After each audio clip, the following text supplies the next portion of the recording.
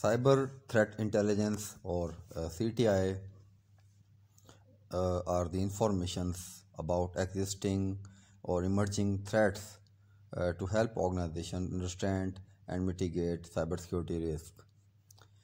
In this video, I will discuss two protocols or standards for sharing cyber threat intelligence between different organizations.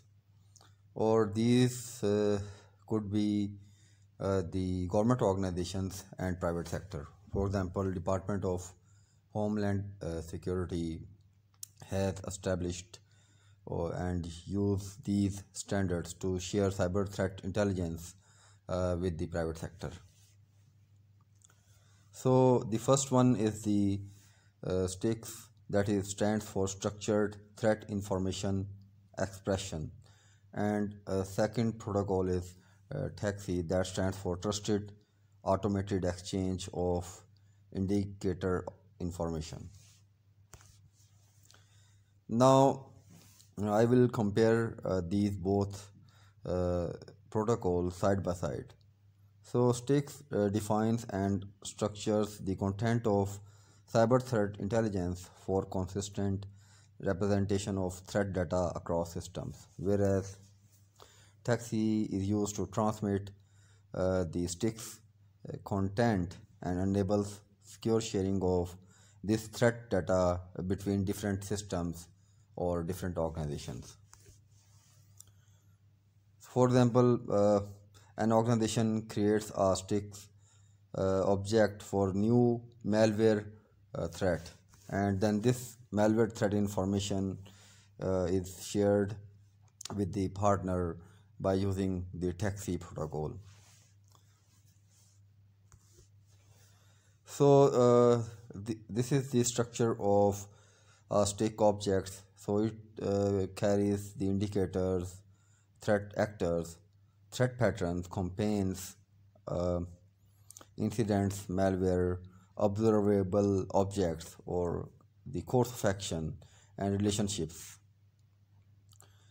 and then you can bundle uh, different STIX objects uh, and send them as one object. And then there are certain patterns in STIX which are the conditions. And there is versioning information in STIX object for backward compatibility and also the extensions if you want to add any other further thing.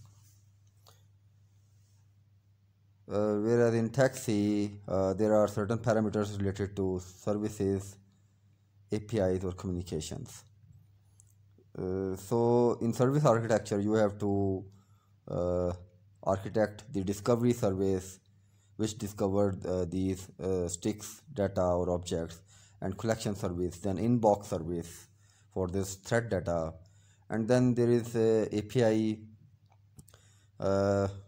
which is uh, used to communicate uh, STIX objects to other uh, systems. So they use this HTTP and HTTPS protocols, and these the both protocol uses uh, the HTTPS uh, uses 443 port and HTTP uh, uses 80 port.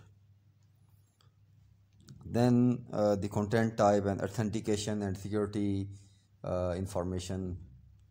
And then other metadata and administrative uh, function associated uh, with TAXII protocol and then if uh, you go into the details of the parameters which are defined in a, a, six, a STIX object so it contains the id name description aliases roles and functions valid uh, date and time from and then date and time uh, the expiry and labels categories tags first seen, last seen, severity, and type. Uh, for example, uh, is it an IP or a hash of a malware, and value of that hash. Then pattern or conditions, tactics used by the threat, uh, and uh, the source references or the target reference, and then certain custom properties you want to add further.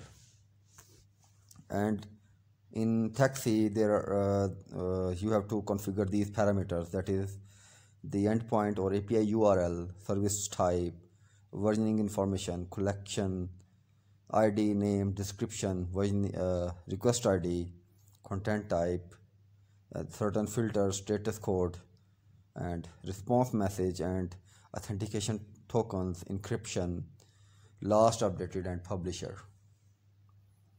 So these all informations uh, or these uh, both uh, protocols are used to communicate cyber threat intelligence information between different organizations. So that is all. Thank you